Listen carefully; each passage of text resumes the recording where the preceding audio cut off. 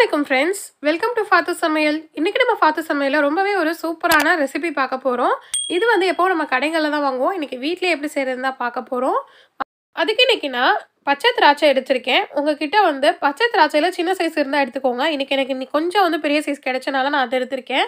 But சின்ன size கிடைச்சா இன்னும் பெட்டராக இருக்கும்.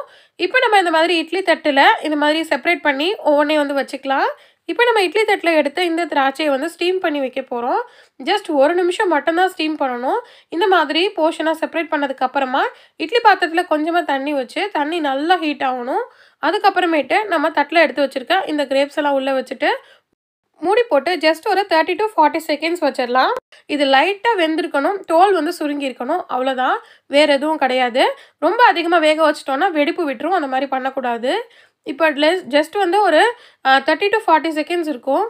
நம்ம வைக்கும் போது சுடுதண்ணி நல்லா ஹீட்டாக இருக்கிறனால சீக்கிரத்துலேயே வந்து தோல் சுருங்கி வந்துடும் இப்போ பாருங்கள் கரெக்டான டெக்ஸ்சரில் இருக்குது நல்லா சுருங்கி வந்திருக்கு தோலெல்லாம். இப்போ நம்ம இதை வெளியே எடுத்துடலாம். வெளியே எடுத்துகிட்டு கொஞ்சமாக வந்து ஹீட் ஆறணும். நல்லா ஆறினதுக்கு அப்புறமேட்டு இதை நம்ம வந்து எடுத்து செப்பரேட் பண்ணி வந்து வைக்க ஆரம்பிச்சிடலாம். இப்போ பாருங்கள் இந்த அளவுக்கு நல்லா சுருங்கி வந்திருக்கு. இப்போது இதை வந்து தனித்தனியாக எடுத்து வைக்கிறதுக்கு ஒரு பிளேட் எடுத்துக்கலாம். ஒன்றோட ஒன்று ஒட்டாமல் நம்ம தனித்தனியாக வந்து இதை வைக்கணும். ஒன்றோட ஒன்று ஒட்டக்கூடாது. அதுதான் ரொம்ப மெயின் கண்டிஷனே இல்லாட்டி வந்து பார்த்திங்கன்னா ஒட்டிட்டு திரும்பி வராது. இப்போ இந்த மாதிரி செப்பரேட் பண்ணி வச்சதுக்கப்புறமா இது நம்ம நல்ல வெயிலில் காய வைக்கணும். மொத்தமாக வந்து பார்த்திங்கன்னா ரெண்டு நாள் அது ஆகும். ஸோ ஃபஸ்ட் நான் இன்றைக்கி முதல் நாள் வச்சுட்டு ஈவினிங் போல் காமிக்கிறேன் பாருங்கள் நல்லா அடிக்கிற வெயிலில் வைங்க. அப்போ தான் நல்லா காஞ்சி வரும். இப்போது ஈவினிங் டயத்தில் நான் எடுத்துட்டேன். நல்லா ஒன் சைடு நல்லா காஞ்சிருச்சு. நம்ம அடி சைடு வச்சோம் இல்லையா? அந்த சைடு வந்து கொஞ்சம் காயாமல் இருக்கும். ஸோ அதனால் இதை திருப்பி விட்டுடலாம் திருப்பி விட்டுட்டு இன்னொரு நாள் நல்லா காய வச்சிடலாம். இப்போ பார்த்தீங்கன்னா நான் எல்லாத்தையும் வந்து திருப்பி வச்சுட்டேன். இப்போ ஒரு நாள் காய வச்சிடலாம்.